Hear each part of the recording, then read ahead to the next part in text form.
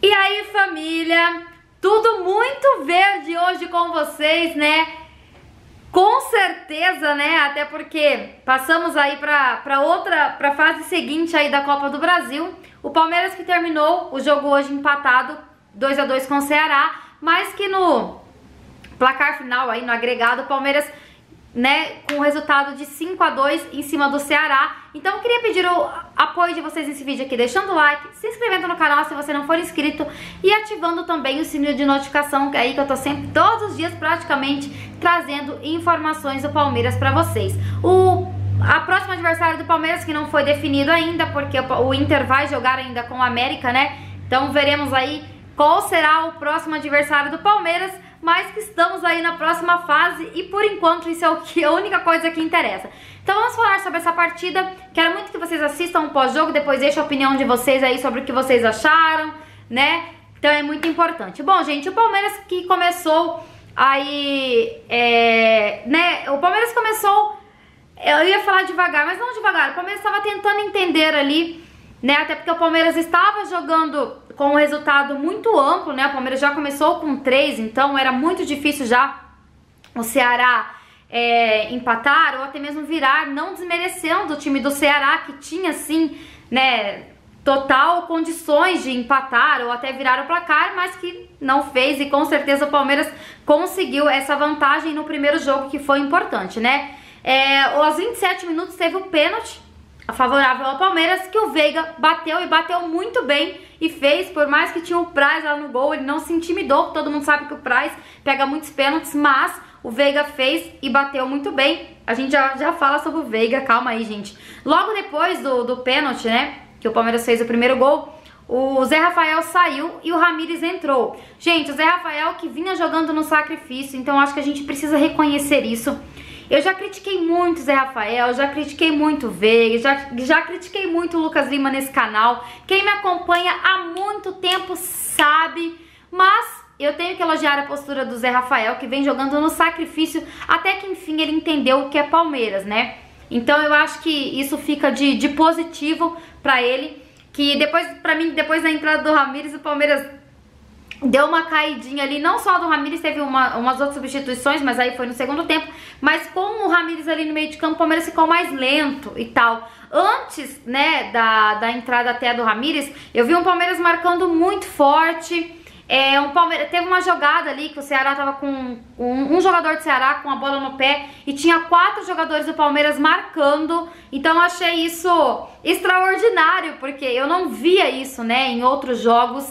Inclusive, eu quero pedir desculpa aqui, porque eu acho que, que, eu, que eu fui equivocada. Em quantas vezes eu falei que o problema do Palmeiras ia além de técnico? Eu falei isso várias e várias vezes. Eu acho que eu estava equivocada, errada.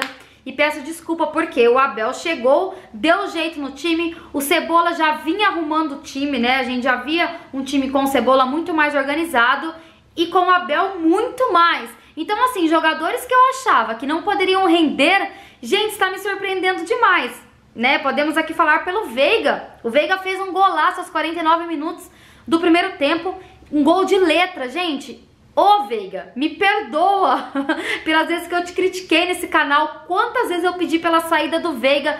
Mas assim, gente, é, eu tô pedindo desculpa, tô brincando e tudo mais. Mas realmente, o Veiga de hoje é um Veiga totalmente diferente do Veiga que a gente conheceu há muito tempo, né? Porque é, eu não sei se realmente era o técnico ou se agora ele se encontrou. Eu sei que assim, ele tá na melhor fase dele com a camisa do Palmeiras, tá jogando muito. Eu não sei que Veiga é esse que tá jogando agora, não consigo reconhecer, mas que é elogios em cima de elogios. Inclusive com a saída dele, Palmeiras é, o Palmeiras piorou muito mais ainda do que de, de, com a saída já do, do Zé Rafael e com a entrada do Ramires. Com a saída do Veiga, eu achei uma diferença muito grande, porque o Veiga vem fazendo muito, tanto no meio de campo do Palmeiras, quanto no ataque. Ele é um jogador que tá em todo lugar ali. Então, assim, a evolução dele, sei lá, nem tem muito o que falar. Eu acho que é isso, né? Só queria pedir desculpa mesmo pro Veiga e por em algum momento aqui ter duvidado do elenco do Palmeiras, porque eu acho que se mostraram, se mostraram muito a mais, muito acima do que eu imaginava. Mas assim, gente, você vê hoje o time do Palmeiras, você vê mais vontade, você vê é, um time que todo tempo busca o gol, não recua. Então você vê uma postura diferente do elenco do Palmeiras. Todo jogador que entra, tenta, é, que entra, né, tenta buscar espaço, tenta é, jogar o que ele pode, porque ele sabe que ali a disputa está sendo acirrada. É, e para mim hoje foi mais uma superação, porque nós tínhamos 19 desfalques.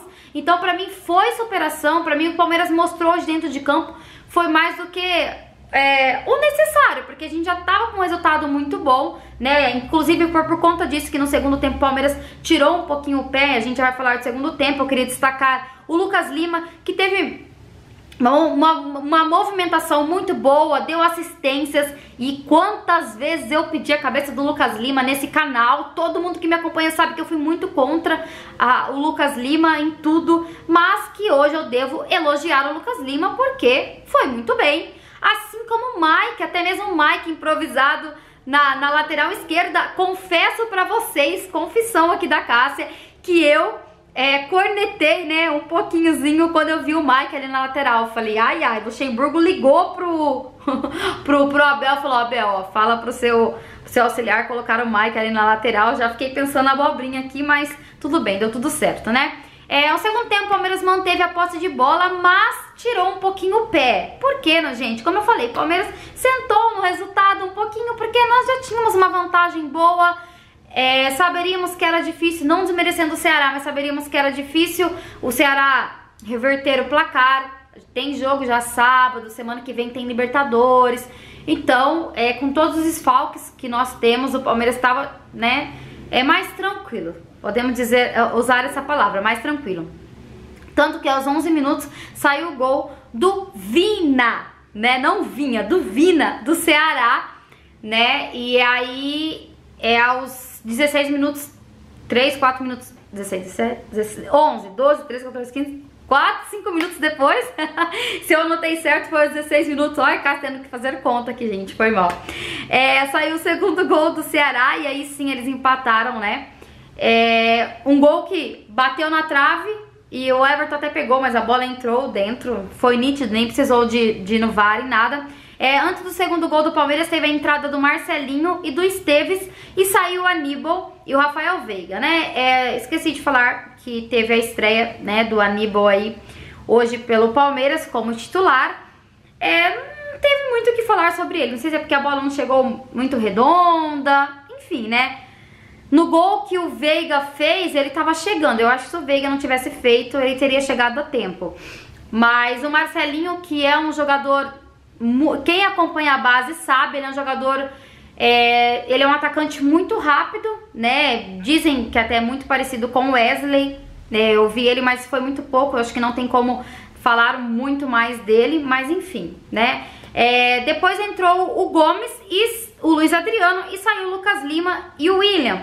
Como eu disse, gente, ele começou a fazer essa troca porque o Palmeiras precisava um descanso, né? Tem jogadores ali que estão jogando aí um jogo atrás do outro e realmente é, não tem como continuar nessa mesma intensidade, porque temos jogo no sábado, semana que vem Libertadores. O William, mais uma vez. Dá, gente, eu ia falar péssimo, mas não sei, gente. Não, não tem nem mais o que falar do William. Eu já falei dele é, o que eu tinha pra falar. Nem vou criticar ele hoje, mas enfim. É, depois teve um pênalti pro, pro time do Ceará, que foi anulado, nítido, nem precisava ter ido no VAR, gente. O jogador se jogou né? E foi um pênalti muito bem anulado. E algo que eu queria pontuar aqui sobre o Renan, que é o, o zagueiro do Palmeiras, que muito bom, gente, muito bom, não comprometeu em nada. Os gols que o Palmeiras tomou do Ceará não foi culpa do Renan, então assim, ótimo zagueiro aí, né? O Renan fazendo dupla com o Emerson Santos, que é o que eu tinha mais medo, porque a defesa é algo que compromete muito durante o jogo, né? Mas que esses, esses, esses, esses dois gols que o Palmeiras tomou não foi culpa de nenhum, do, de nenhum dos dois. Então já sabemos que eu vou destacar mais o Renan aqui, já está, já está pronto aí para substituir né, a zaga do Palmeiras aí é, durante os próximos jogos, se precisar, ele está pronto e gostei muito e eu vi a torcida elogiando ele demais também. Mas é isso, gente.